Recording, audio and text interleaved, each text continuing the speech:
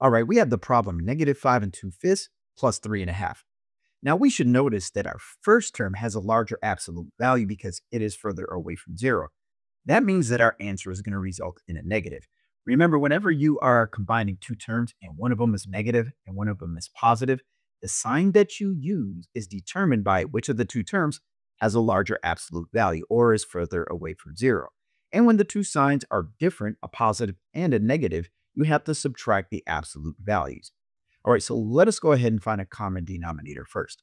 So we're going to take these two denominators here, which are a 5 and a 2, and change them to the lowest common denominator of 10. All right, because we doubled the 5, we doubled the 2, and that is going to give us a 4. And of course, we have to write 5 on the top of 10 because 5 is half of 10. And then we just slide down our negative 5 here and our plus 3 here. All right, next what we're going to do is convert each one of these mixed numbers into improper fractions. So we're going to keep our denominators the same. And then we just multiply 10 and 5. That's going to be 50 plus 4 more is 54. So when converting this mixed number, we get negative 54 tenths.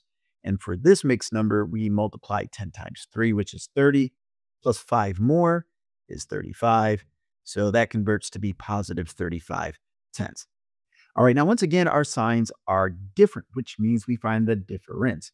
So we take 54 and 35 and subtract, which is 19. The denominator stays the same. And because we had a larger absolute value with the first term, which is negative, we have to use negative for the answer.